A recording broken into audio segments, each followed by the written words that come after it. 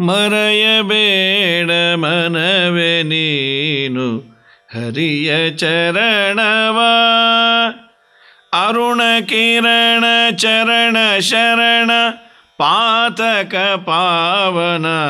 ಮರೆಯಬೇಡ ಮನವೇ ನೀನು, ಹರಿಯ ಚರಣವಾ.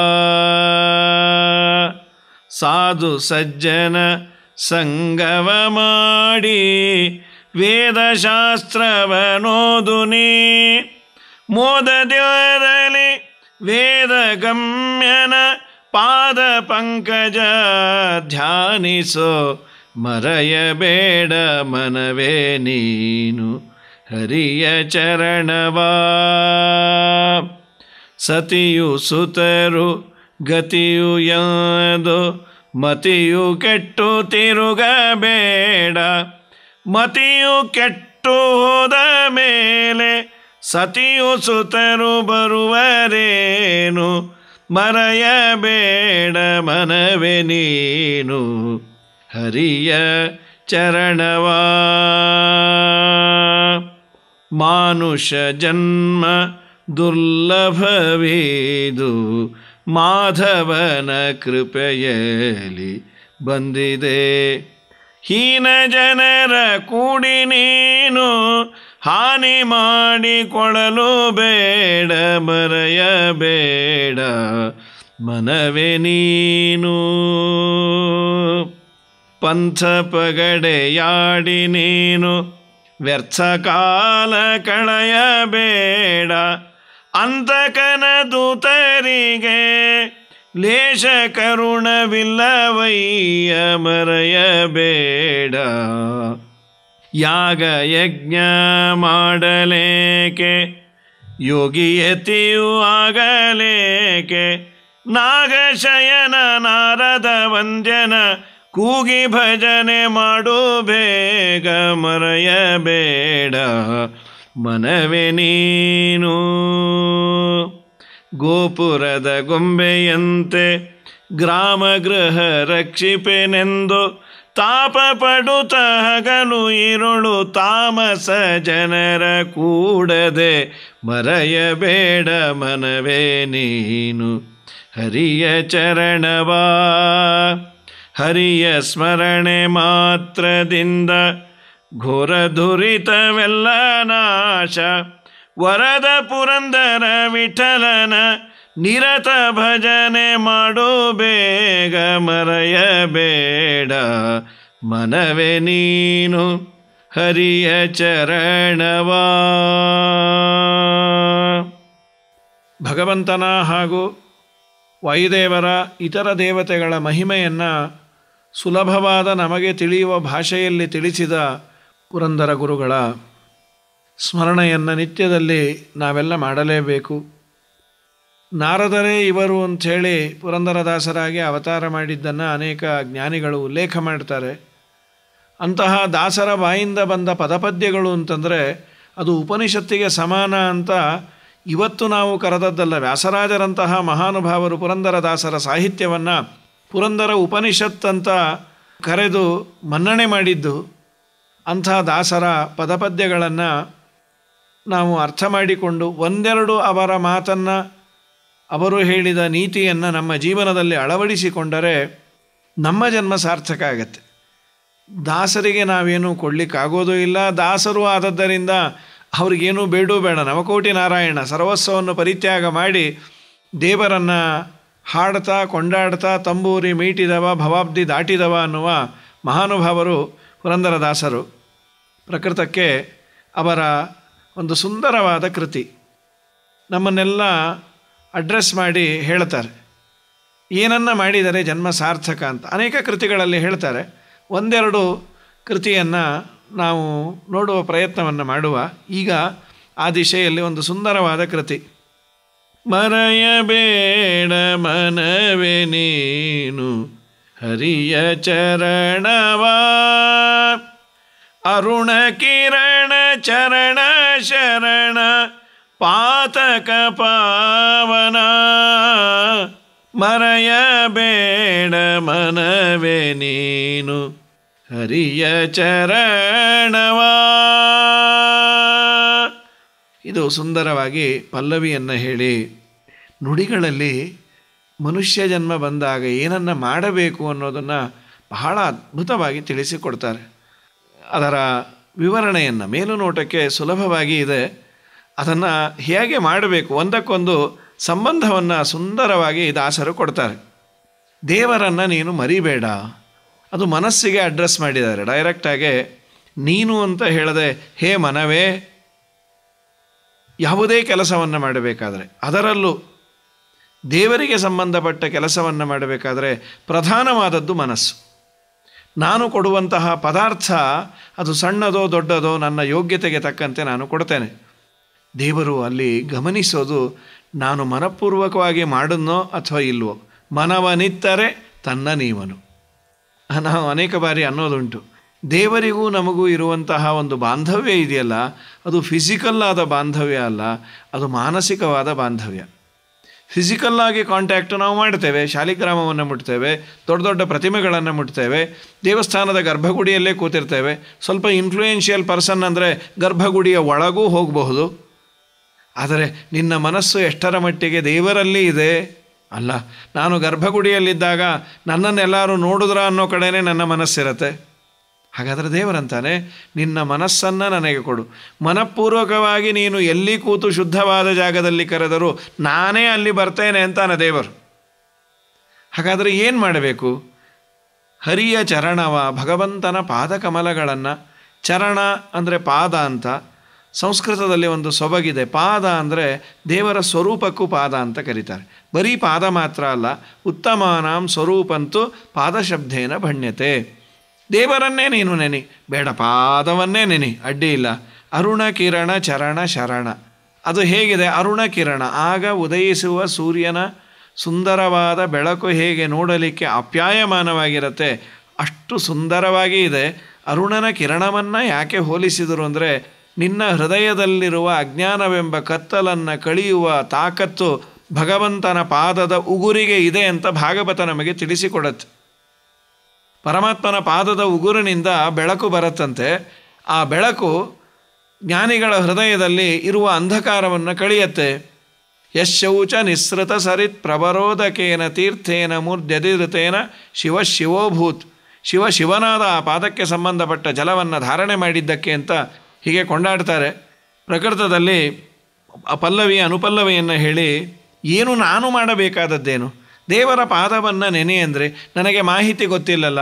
ಹೌದು, ಅದು ನನಗೆ ಗೊತ್ತು ಅಂತಾರೆ ಪುರಂದರದಾಸರು. ಹಾಗಾದರೆ ನಾನು ಅದನ್ನು ಯಾರಲ್ಲಿ ಕಲೆಕ್ಟ್ ಮಾಡಲಿ? ಸಾಧು ಸಜ್ಜನರ ಸಂಗವ ಮಾಡಿ. ಮೊದಲು ನೀನು ಮಾಡಬೇಕಾದದ್ದು ಸಜ್ಜನರ ಸಹವಾಸ. ಇದು ಹತ್ತಾರು ಬಾರಿ ಪುರಂದರದಾಸರು ಹೇಳ್ತಾರೆ, ಶಾಸ್ತ್ರಗ್ರಂಥಗಳಲ್ಲೂ ಹೇಳೋದು, ಉದ್ಧಾರ ಆಗಬೇಕು ಅಂದರೆ ಮೊದಲು ಮನುಷ್ಯ ಮಾಡಬೇಕಾದದ್ದು ಸಜ್ಜನರ ಸಹವಾಸ ಅಂತ. ಯಾವಾಗ ನಾವು ಉದ್ಧಾರ ಆಗುವ ಕಾಲ ಬರುತ್ತೆ, ಆಗ ದೇವರು ಮಾಡಿಸೋದೇ ನಮಗೆ ಸಜ್ಜನರ ಸಹವಾಸ ಮಾಡಿಸಿ, ಅವರಿಂದ ಒಂದೆರಡು ಮಾತನ್ನು ಕೇಳುವಂತಹ ಮನಸ್ಸನ್ನು ಕೊಡ್ತಾನಂತೆ. ಹಾಗಾಗಿ ಅಚ್ಚುತಾಂಗ್ರೆ ನಿಟ್ಟರಾಯ ದೃಚ್ಚಲಾಭ ತುಷ್ಟರ, ನಿಶ್ಚಯಾತ್ಮಕ ಜ್ಞಾನಮುಳ್ಳ ಅಚ್ಚ ಭಾಗವತರ ಸಂಗವಾಗಲಿ ಸಾಧು ಸಂಗವಾಗಲಿ ಸಂಗದಿಂದ ಲಿಂಗ ದೇಹ ಭಂಗವಾಗಲಿ. ನಾರದರೇ ತಮ್ಮ ಪೂರ್ವ ವೃತ್ತಾಂತವನ್ನು ಹೇಳ್ತಾರೆ ವೇದವ್ಯಾಸ ದೇವರ ಮುಂದೆ. ನಾನು ಉದ್ಧಾರ ಆದದ್ದೇ ಸಜ್ಜನರ ಸಹವಾಸದಿಂದ. ಅದು ನಾಲ್ಕು ತಿಂಗಳು ಮಾತ್ರ ನನ್ನ ಊರಿನಲ್ಲಿ ಸನ್ಯಾಸಿಗಳು ಚಾತುರ್ಮಾಸ್ಯಕ್ಕೆ ಕೂತಿದ್ರು. ನನಗೆ ಐದೇ ವರ್ಷ ಆಗ ನಾರದರು ಹಿಂದಿನ ವೃತ್ತಾಂತವನ್ನು ಹೇಳೋದು. ಐದು ವರ್ಷದ ಪುಟ್ಟ ಹುಡುಗ, ಒಬ್ಬ ದಾಸಿ ಪುತ್ರ ನನ್ನ ತಾಯಿ ಅವರ ಸೇವೆಯನ್ನು ಮಾಡಲಿಕ್ಕೆ ನನಗೆ ಹೇಳಿದ್ದು. ನಾನು ಒಂದಿಷ್ಟು ಅವರಿಗೆ ಸೇವೆಯನ್ನು ಮಾಡ್ತಾ, ಅವರ ಎಂಜಲು ಗೋಮವನ್ನು ಮಾಡ್ತಾ ಇದ್ದೆ, ಅವರು ಕೊಟ್ಟ ಪ್ರಸಾದವನ್ನು ಸ್ವೀಕಾರ ಮಾಡ್ತಾ ಇದ್ದೆ. ಗುರುಗಳ ಪ್ರಸಾದ, ಗುರುಗಳ ಸೇವೆಯನ್ನು ಮಾಡಿದ್ದಕ್ಕೆ ನನಗೆ ಈ ಜನ್ಮದಲ್ಲಿ ಸದಾ ಭಗವಂತನನ್ನು ನೋಡುವ ಭಾಗ್ಯ ಬಂತು. ತಿಳುವಳಿಕೆ ಇಲ್ಲದ ಐದು ವರ್ಷಕ್ಕೆ ಹೆಚ್ಚಿನ ಸೇವೆಯನ್ನು ಮಾಡದೇ ಇದ್ದರೂ ಅವರ ಸಹವಾಸವೇ ನನ್ನನ್ನು ಈ ಮಟ್ಟಕ್ಕೆ ತಂದಿದೆ ಅಂತ. ಹಾಗಾದರೆ ಮೊದಲು ನಾನು ಮಾಡಬೇಕಾದದ್ದು ಸಜ್ಜನರ ಸಹವಾಸ ಅದಾದ ಮೇಲೆ ಮುಂದೇನು ಮಾಡಬೇಕು? ವೇದಶಾಸ್ತ್ರವನ್ನು ಓದುನಿ ಅವರಿಂದ ಮಾತ್ರ ಸಿಗುವ ವೇದಶಾಸ್ತ್ರಗಳ ಅತಿ ರಹಸ್ಯವಾದ ಪ್ರಮೇಯಗಳನ್ನು ತಿಳಿದುಕೋ. ಅವರ ಬಳಿಯಲ್ಲಿ ಹೋಗಿ ಪಾದಾಕ್ರಾಂತನಾಗಿ ಬೇಡು, ನಿಮ್ಮಲ್ಲಿರುವ ಆ ಸರಕನ್ನು ನನಗೆ ಧಾರೆ ಎರೀರಿ ಅಂತ. ಆನಂತರದಲ್ಲಿ ಮೋದದಿಂದಲೇ ವೇದಗಮ್ಯನ ಪಾದಪಂಕಜ ಧ್ಯಾನಿಸು. ಎಷ್ಟು ಚೆನ್ನಾಗಿದೆ ನೋಡಿ. ಮೊದಲು ಸಜ್ಜನರ ಸಹವಾಸ, ಆಮೇಲೆ ಅವರಿಂದ ಶ್ರವಣ ಆಮೇಲೆ ಮನನ, ಆಮೇಲೆ ಧ್ಯಾನ. ಶ್ರವಣ, ಮನನ, ಧ್ಯಾನ. ಇದು ನಿನಗೆ ಉಂಟಾಗಬೇಕು ಅಂದರೆ ಸಜ್ಜನರ ಸಹವಾಸ ಮಾಡಬೇಕು. ಅಲ್ಲ, ಶ್ರವಣ, ಮನನ, ಧ್ಯಾನಗಳು ಬೇರೆ ಬೇರೆದೆಲ್ಲ ಆಗುತ್ತೆ. ಅದು ಪ್ರಯೋಜನ ಇಲ್ಲ. ಯಾವುದೋ ಲೌಕಿಕವಾದ ವಾರ್ತೆಗಳನ್ನು, ಲೌಕಿಕವಾದ ಸಂಸಾರದ ಗಾಥೆಗಳನ್ನು ಶ್ರವಣ ಮಾಡಿ ಅದನ್ನು ಧ್ಯಾನ ಮಾಡೋದು ಏನೂ ಪ್ರಯೋಜನ ಇಲ್ಲ. ದೇವರ ಬಗ್ಗೆ ನೀನು ತಿಳಿದುಕೋ ಅಂತ ಹೇಳಿ. ಇಲ್ಲ, ನನಗೆ ಸಮಸ್ಯೆಗಳು ಬೇಕಾದಷ್ಟು ಇದ್ದಾವಲ್ಲ, ನಾನು ಹೇಗೆ ಮಾಡೋದು? ಯಾಕೆ ನನಗೆ ಹೆಂಡತಿ, ಮಕ್ಕಳು, ನನ್ನ ಮನಸ್ಸು ಆಲ್ರೆಡಿ ಎಂಗೇಜ್ ಆಗಿದೆ? ಪುರಂದರದಾಸರು ಅದನ್ನೇ ಅಂತಾರೆ. ಸತಿಯು ಸುತರು ಗತಿಯು ಎಂದು. ಜನರಲ್ ಮನುಷ್ಯನ ಸೈಕಾಲಜಿ ಮನಃಶಾಸ್ತ್ರ ಅಥವಾ ನಮ್ಮ ಇವತ್ತಿನ ಪರಿಸ್ಥಿತಿ ಹೇಗಿದೆ? ನಾನು ನನ್ನ ಹೆಂಡತಿ, ನನ್ನ ಮಕ್ಕಳು. ಅವರ ಸಂರಕ್ಷಣೆ. ಅದನ್ನು ಮಾಡಬೇಡ, ಬಿಟ್ಬಿಡು ಅಂತ ಯಾರೂ ಹೇಳುವುದಿಲ್ಲ. ಅತ್ಯವಶ್ಯಕವಾಗಿ ಮಾಡಬೇಕಾದದ್ದು. ಆದರೆ ಇಷ್ಟೇ ನನ್ನ ಜೀವನವ? ಇದರಿಂದ ಆಚೆ ಇಲ್ವಾ? ಅಥವಾ ಐಹಿಕ ಜೀವನ ಮಾತ್ರವಾ? ಇಲ್ಲ ನಾವು ಪಾರತ್ರಿಕ ಜೀವನ? ಮತ್ತೊಂದು ನಮ್ಮ ಮರಣದ ನಂತರದಲ್ಲಿ ಸ್ವರ್ಗ ನರಕಾದಿಗಳು ಇದೆ ಅಂತ ನಂಬುವವರು? ಹಾಗಾದರೆ ನಾವು ಇಷ್ಟಕ್ಕೇ ಒಂದು ಬೇಲಿಯನ್ನು ಹಾಕ್ಕೊಂಡು ಕೂಡಬಾರ್ದು ಅಂತಾರೆ ಪುರಂದರದಾಸರು. ಸತಿಯು ಸುತರು ಗತಿಯು ಎಂದು ನನಗೆ ಹೆಂಡತಿ ಮಕ್ಕಳೇ ಗತಿ ಅಂತ ನೀನು ಕೂಡಬೇಡ. ಮತಿಯಗೆಟ್ಟು ತಿರುಗಬೇಡ. ಹುಚ್ಚನಂತೆ ಅವರಿಗಾಗಿ ತಂದು ತಂದು ತಂದು ಅವರಿಂದ ಸರ್ಟಿಫಿಕೇಟ್ ತಗೋಬೇಕು ಅಂತ ಅನ್ನಬೇಡ ಖಂಡಿತ ಅವರಿಗೆ ಏನನ್ನು ಮಾಡಬೇಕೋ ಅದನ್ನು ಮಾಡು, ನಿನ್ನ ಕೆಲಸವನ್ನು ನೀನು ಮಾಡಿಕೋ. ಒಂದು ವೇಳೆ ನೀನು ತುಂಬ ಅವರಿಗಾಗಿ ಜೀವನವನ್ನು ಮುಡಿಪಾಗಿಟ್ಟು ಒಂದು ದಿವಸ ನಿನಗೆ ಅವರಿಂದ ಬೇಸರ ಆದಾಗ ಅವರು ಏನಾದರೂ ರಿವರ್ಸ್ ಆದರೆ ಮತಿಗೆಟ್ಟು. ಅಯ್ಯೋ, ನಾನು ಇವ್ರಿಗೆ ಇಷ್ಟು ಮಾಡಿದೆ, ನನ್ನ ಜೀವನ ಹೀಗೆ ಮಾಡಿಟ್ಬಿಟ್ರು. ನಾನು ಇಷ್ಟು ಮಾಡಿದೆ, ಆಗ ನಿನ್ನ ಮತಿ ಸ್ಥಿಮಿತವನ್ನು ಕಳೆದುಕೊಳ್ಳತ್ತೆ. ನಿನ್ನ ಜೊತೆ ಯಾರೂ ಬರುವುದಿಲ್ಲ ಯಾರೂ ಬರೋದಿಲ್ಲ. ಆ ಹಂತವನ್ನು ನೀನು ತಲುಪಬೇಡ. ಈ ಅಡ್ಡಿ ಆತಂಕಗಳೆಲ್ಲವನ್ನು ನೀನು ದೂರ ಆಗಬೇಕು ಅಂದರೆ ಭಗವಂತನನ್ನು ನೀನು ತಿಳಿದುಕೋ, ಅದನ್ನು ತಿಳಿಸುವ ಸಜ್ಜನರ ಸಹವಾಸವನ್ನು ಮಾಡು. ಯಾಕೆ ಇಷ್ಟು ಹೇಳ್ತೀರಿ? ಮಾನುಷ ಜನ್ಮ ದುರ್ಲಭವಿದು, ಮಾಧವನ ಕೃಪೆಯಲ್ಲಿ ಬಂದಿದೆ. ಮನುಷ್ಯ ಜನ್ಮ ತುಂಬ ದೊಡ್ಡದಪ್ಪ. ದಾಸರು ಹತ್ತಾರು ಕೃತಿಗಳಲ್ಲಿ ಮಾತು ಹೇಳ್ತಾರೆ, ಮಾನವ ಜನ್ಮ ದೊಡ್ಡದು. ಇದ ಹಾನಿ ಮಾಡಲು ಬೇಡಿ, ಹುಚ್ಚಪ್ಪಗಳಿರ ಅಂತ ಮತ್ತೊಂದು ಕೃತಿಯಲ್ಲಿ ಅಂತಾರೆ. ಯಾಕೆ? ಯಮಧರ್ಮರಾಜ ಅಪ್ಲಿಕೇಶನ್ ಹಾಕಿ ಬರೋದಿಲ್ಲ ಸಮನ್ಸ್ ಕೊಟ್ಟು ಬರೋದಿಲ್ಲ, ಅಥವಾ ನಮಗೆ ಚಾಯ್ಸ್ ಕೊಟ್ಟು ಬರೋದಿಲ್ಲ. ಈ ತಿಂಗಳು ಬರಲೋ, ಮುಂದಿನ ತಿಂಗಳು ಬರಲೋ ನಿನ್ನ ಕೆಲಸ ಎಲ್ಲ ಮುಗಿಸ್ಕೊಂಡಿರೋ, ಆಮೇಲೆ ಬರಲೋ? ಅವ್ರು ಏನು ಏನು, ಏನೂ ಕೇಳೋದಿಲ್ಲ. ಟ್ವೆಂಟಿ ಫೋರ್ ಇಂಟು ಸೆವೆನ್ ಅನ್ನೋ ಡಿಪಾರ್ಟ್ಮೆಂಟ್ ಅದು. ಕಾಲನ ದೂತರು ಕಾಲ್ಪಿಡಿದೆಳೆವಾಗ ತಾಳು ತಾಳೆಂದರೆ ತಾಳುವರೆ. ದಾಳಿ ಬಾರದ ಮುನ್ನ ಧರ್ಮವ ಗಳಿಸಿರೋ ಹಾಳು ಸಂಸಾರದ ಸುಳಿಗೆ ಸಿಕ್ಕಲು ಬೇಡಿ. ಮಾನವ ಜನ್ಮ ದೊಡ್ಡದು ಇದ ಹಾನಿ ಮಾಡಲು ಬೇಡಿ. ಹುಚ್ಚಪ್ಪಗಳಿರ ಮಾನವ ಜನ್ಮ ದೊಡ್ಡದು. ದಾಸರು ಈ ಮಾತುಗಳನ್ನು ಬೇರೆ ಬೇರೆ ಕೃತಿಯಲ್ಲಿ ಅಂತಾರೆ. ಇದು ಬರೋದು ಕಷ್ಟಪ್ಪ ಬಂದಾಗ ಸಾಧನೆಗಾಗಿ ಬಳಸ್ಕೊಳ್ಳೋ. ಇಲ್ಲ, ನನಗೆ ಮುಂದಿನ ಜನ್ಮ ಬರುತ್ತಲ್ಲ. ಬರಲ್ಲ ಅಂತಾರೆ ದಾಸರು. ನೀನು ಪುಣ್ಯ ಮಾಡಿದರೆ ಬರಬಹುದು. ಮುಂದಿನ ಜನ್ಮ ಮನುಷ್ಯ ಜನ್ಮ ಬರುವಷ್ಟು ಪುಣ್ಯವನ್ನೇ ಮಾಡಿಕೊಳ್ಳದೆ ಇದ್ದರೆ ಎಲ್ಲಿಂದ ಕೊಟ್ಟಾನು ದೇವರು? ಮುಂದೆ ಇಂಥ ಜನ್ಮ ಬರದಣ್ಣ. ಅವರೇ ವ್ಯಾಖ್ಯಾನವನ್ನು ಮಾಡಿದ್ದಾರೆ ದಾಸರು. ಕೇಳಣ್ಣ ನೀನು ಮಂದಮತಿಯೂ ಆಗಬೇಡಣ್ಣ. ಹಿಂದಿನ ಕಟ್ಟವ ಮರೆದು ಮುಂದಿನ ಹಮ್ಮನ್ನು ತೊರೆದು ತಂದೆ ಪುರಂದರ ವಿಠಲನ್ನ ಹೊಂದಲು ನೀ ಮುಕ್ತನಣ್ಣ, ಊರ ದೇವರ ಮಾಡಬೇಕಣ್ಣ. ತನ್ನೊಳಗೆ ತಾನು ಉರದೇವರ ಮಾಡಬೇಕಣ್ಣ. ಇದು ಮತ್ತೆ ಬರೋದಿಲ್ಲ. ಮಾಧವನ ಕೃಪೆಯಲ್ಲಿ ಬಂದಿದೆ. ಇದು ದೇವರ ಕೃಪೆ ಮಾಡಿ ಕೊಟ್ಟದ್ದು. ನಾನು ಮನುಷ್ಯ ಜನ್ಮ ಪಡೆಯುವಷ್ಟು ಪುಣ್ಯ ಮಾಡಿಲ್ಲ. ಪಾಸಿಂಗ್ ಮಾರ್ಕ್ಸ್ ದೇವರು ಹಾಕಿ ಪಾಸ್ ಮಾಡಿದ್ದಾನೆ ಗ್ರಾಮೀಣ ಕೃಪಾಂಕ ಅಂತ ನಮ್ಮ ಸರ್ಕಾರದಲ್ಲಿ ಕೆಲವೊಮ್ಮೆ ಕೊಡ್ತಾರೆ. ಗ್ರಾಮದಲ್ಲಿದ್ದವರಿಗೆ ಕರೆಂಟ್ ಇರೋದಿಲ್ಲ ಟೀಚರ್ ಬಂದಿಲ್ಲ. ಆದ್ದರಿಂದ ಕೃಪೆಯಿಂದ ಅವರಿಗೊಂದು ಹತ್ತು ಮಾರ್ಕ್ಸ್ ಕೊಟ್ಟು ಪಾಸ್ ಮಾಡಿ ಅಂತ ಸರ್ವೋತ್ತಮನಾದ ದೇವರು ನಮ್ಮ ಹಿರಿಯರು ಮಾಡಿದ ಯಾವುದೋ ಪುಣ್ಯವನ್ನು ನೋಡಿ ನನಗೆ ಪಾಸ್ ಮಾಡಿ ಮನುಷ್ಯ ಜನ್ಮ ಕೊಟ್ಟಾಗ, ಮನುಷ್ಯ ಜನ್ಮ ಪಾಸಾಗದಂತೆ ನೋಡ್ಕೋಬೇಕಲ್ವ? ಅದು ನಿಜವಾಗಲೂ ಪಾಸ್ ಆಗಬೇಕು ಅಂದರೆ ನಾವು ಮುಂದೆ ಉತ್ತಮ ಸ್ಥಿತಿಯನ್ನು ಪಡಿಬೇಕೆ ವಿನಃ ಅದು ನಮ್ಮಿಂದ ಬೈಪಾಸ್, ಮುಂದೆ ಹೋಗಿಬಿಡ್ತು ಅಂತ ಆಗಬಾರ್ದಲ್ವ? ಅದಕ್ಕೆ ಅಂತಾರೆ, ಹೀನ ಜನರ ಕೂಡಿ ನೀನು ಹಾನಿ ಮಾಡಲು ಬೇಡಪ್ಪ. ಮತ್ತು ಯಾಕೆ, ಏನು, ಹೇಗೆ ನಾನು ಕಾಲ ಕಳೀತೇನೆ? ಪುರಂದರದಾಸರಂತಾರೆ, ಪಂಥ ಪಗಡೆ. ಮನುಷ್ಯನಿಗೆ ಪಂಥ. ನಾನು ಅದನ್ನು ಸಾಧಿಸಬೇಕು, ಇದನ್ನು ಸಾಧಿಸಬೇಕು, ಅವನ ಮೇಲೆ ನಾನು ಹಗೆಯನ್ನು ತೀರಿಸ್ಕೊಳ್ಬೇಕು. ಇದೆಲ್ಲ ಬೇಡ. ಇದಕ್ಕಾಗಿ ನೀನು ಬಂದದ್ದಲ್ಲ. ಅಥವಾ ಪಗಡೆ, ಬರೀ ಪಗಡೆ ಅಂತಲ್ಲ, ಜೂಜು, ಚಟಗಳು. ದಾಸನಾಗಿ ಬಿಡ್ತೀವಿ ಚಟಗಳಿಗೆ. ಒಬ್ಬೊಬ್ಬರು ಒಂದೊಂದಕ್ಕೆ ದಾಸ, ದಾಸರಾಗಿ ಬಿಡ್ತೇವೆ. ವ್ಯರ್ಥ ಕಾಲ ಕಳೆಯಬೇಡ. ಅಂತಕನ ದೂತರಿಗೆ ಲೇಷ ಕರುಣವಿಲ್ಲವಯ್ಯ. ಅಂತಕನ ದೂತರು ಒಂದು ಸ್ವಲ್ಪ ಹೊತ್ತು ಕಾಯೋದಿಲ್ಲ. ಅದನ್ನೂ ಒಂದು ಪದ್ಯ ಮಾಡಿದ್ದಾರೆ, ಅಂತಕನ ದೂತರಿಗೆ ಕಿಂಚಿತ್ತು ದಯವಿಲ್ಲ, ಹೀಗೆ ಧರ್ಮವನ್ನು ಮಾಡಿ ಅಂತ. ನಾವು ಸಬೂಬನ್ನು ಹೇಳೋದು ಹೆಚ್ಚು. ನನಗೆ ದೇವರ ಸ್ಮರಣೆ ಮಾಡಲಿಕ್ಕೆ ಸಮಯ ಇಲ್ಲ, ನಾನು ಯಜ್ಞ, ಯಾಗ ಎಲ್ಲ ಮಾಡ್ತಾ ಇದ್ದೇನೆ.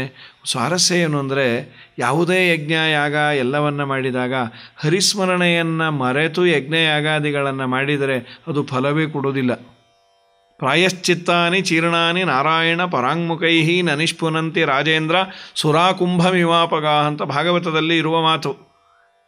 ಹರಿಯ ಸ್ಮರಣೆ, ಕೃಷ್ಣಾರ್ಪಣ ಬುದ್ಧಿ ಇಲ್ಲದ ಯಾವುದೇ ದೊಡ್ಡ ಕೆಲಸ ಆದರೂ ಹೆಂಡದ ಗಡಿಗೆಯನ್ನು ಹೋಗಿ ಗಂಗೆಯಲ್ಲಿ ಅದ್ದಿದರೆ ಆ ಹೆಂಡ ಏನು ಪವಿತ್ರ ಆಗೋದಿಲ್ಲವೋ? ಹಾಗೆ ಸುರಾಕುಂಭಮಿವ. ಸುರಾಕುಂಭವನ್ನು ಅದ್ದಿದಂತೆ ಆಯಿತು. ನಿನ್ನ ಎಂಥ ದೊಡ್ಡ ಕಾರ್ಯಕ್ರಮವು ಹರಿಯ ಸ್ಮರಣೆ ಇಲ್ಲ, ಹರಿಯ ಅರ್ಪಣ ಬುದ್ಧಿ ಇಲ್ಲ ಅಂದರೆ ಪ್ರಯೋಜನ ಇಲ್ಲ. ಹಾಗಾದರೆ ಮಧ್ಯದಲ್ಲಿ ಶ್ರೀಕೃಷ್ಣಾಯ ನಮಃ ಅಂತ ಚಿಂತನೆ ಮಾಡಬೇಕಂತೆ. ದಾಸರಂತಾರೆ, ಯಾಗ ಯಜ್ಞ ಮಾಡಲೇಕೆ? ಯಾಗ ಯಜ್ಞ ಮಾಡಬೇಡ ಅಂತಲ್ಲ, ಯಾಗ ಯಜ್ಞವನ್ನು ಮಾಡ್ತೇನೆ ಅನ್ನೋ ನೆಪದಿಂದ ನೀನು ಹರಿಯ ಸ್ಮರಣೆಯನ್ನು ಬಿಡಬೇಡ ಅಂತ. ಅತ್ಯಾವಶ್ಯಕವಾಗಿ ಮಾಡು. ಅದು ಒಂದು ಭಗವಂತನ ದರ್ಶನಕ್ಕೆ ದಾರಿನೇ. ಆದರೆ ದೇವರನ್ನು ಮರೆತು ನಾನು ಮಾಡದೆ ನಾನು ಮಾಡದೆ ಅಂತಾದರೆ ಪ್ರಯೋಜನ ಇಲ್ಲ ಅಂತ ಎಚ್ಚರವನ್ನು ಕೊಡ್ತಾ ಇದ್ದಾರೆ. ನಾನು ಯೋಗಿ ಆದೆ ಯತಿ ಸರ್ವಸ್ವವನ್ನು ಪರಿತ್ಯಾಗ ಮಾಡಿದೆ. ಹೌದು, ನಾನು ಮಾಡದೆ ನಾನು ಮಾಡದೆ ಅನ್ನುವ ಹಮ್ಮು ನಿನಗೆ ಇದೆ. ದೇವರು ನನ್ನನ್ನು ಈ ಸ್ಥಿತಿಗೆ ತಂದಿಟ್ಟ, ಸರ್ವಸ್ವವನ್ನು ಪರಿತ್ಯಾಗ ಮಾಡುವಂತಹ ಭಾಗ್ಯ ಕೊಟ್ಟ ಅನ್ನುವ ಭಾವನೆ ನಿನಗಿಲ್ಲ ಅಂತಾದರೆ ಪ್ರಯೋಜನ ಇಲ್ಲ ಅಂತಾರೆ. ಹಾಗಾಗಿ ನಾಗಶಯನ ನಾರದ ವಂದ್ಯನ ಕೂಗಿ ಭಜನೆ ಮಾಡು ಬೇಗ. ಭಗವಂತನ ಧ್ಯಾನವನ್ನು ಮಾಡು, ಭಗವಂತನ ಸ್ಮರಣೆಯನ್ನು ಮಾಡು. ಅದಕ್ಕಾಗಿ ಇವೆಲ್ಲವು ಯಜ್ಞವೋ, ಯಾಗವೋ, ಯತಿಯೋ, ಯೋಗಿಯೋ, ಏನಾದರೂ ಇದರ ಫಲ ಏನು ಅಂದರೆ ನಿರಂತರ ಭಗವಂತನ ಸ್ಮರಣೆ. ಅದನ್ನು ಮಾಡಿದರೆ ಜನ್ಮ ಸಾರ್ಥಕ ಆಗತ್ತೆ. ಅದನ್ನು ಮಾಡದ ಯಾವುದೇ ತರಹದ ಕೃತ್ಯವೂ ಕೂಡ ಪ್ರಯೋಜನಕಾರಿಯಲ್ಲ ಅದು ಪುರಂದರದಾಸರ ಅಭಿಪ್ರಾಯ. ಈ ದಿಶೆಯಲ್ಲಿ ಯಾವುದೇ ಕೆಲಸವನ್ನು ಮಾಡಬೇಕಾದರೂ ಕೃಷ್ಣಾರ್ಪಣ ಬುದ್ಧಿಯಿಂದ, ವಿಷ್ಣು ಪ್ರೇರಣೆಯ ವಿಷ್ಣು ಪ್ರೀತ್ಯರ್ಥಂ ಅನ್ನುವ ಬುದ್ಧಿಯಿಂದ ಎಲ್ಲಕ್ಕಿನ್ನ ಮನಪೂರ್ವಕವಾಗಿ ಮಾಡುವ. ನಾಲ್ಕು ಜನ ನೋಡಿದರ, ಬಿಟ್ರ ಅಲ್ಲ, ದೇವರು ನೋಡಿದನ? ವೈದೇವರು ನೋಡಿದರ? ತತ್ವಾಭಿಮಾನಿಗಳು ಅದನ್ನು ನೋಡಿದರ? ಖಂಡಿತ ನಾನು ಮಾಡಿದ ಕೆಲಸ ಸಾರ್ಥಕ ಆಗಿರುತ್ತೆ ಅಂತ ತಿಳಿಬೇಕು. ನಮಗೊಂದು ಭ್ರಮೆ ಇದೆ. ನಾನು ನನ್ನ ಮನೆಯನ್ನು ಕಟ್ಟಿದೆ. ಅದನ್ನು ನಾನು ಚೆನ್ನಾಗಿ ನೋಡ್ಕೊಳ್ತೇನೆ, ನಾನೇ ಒರೆಸ್ತೇನೆ, ಸಾರಿಸ್ತೇನೆ ಅಂತ ದಾಸರಂತಾರೆ ಎಂಥ ಪೆದ್ದು ನೀನು?